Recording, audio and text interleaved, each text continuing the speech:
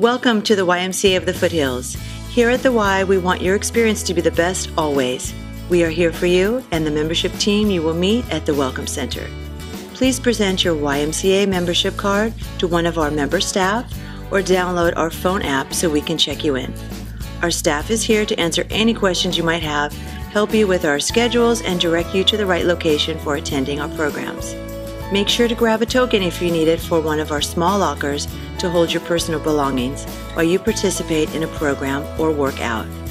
Please refrain from bringing in food or breakable containers into our facilities. We can't wait to see you and hear about your experience at the Y.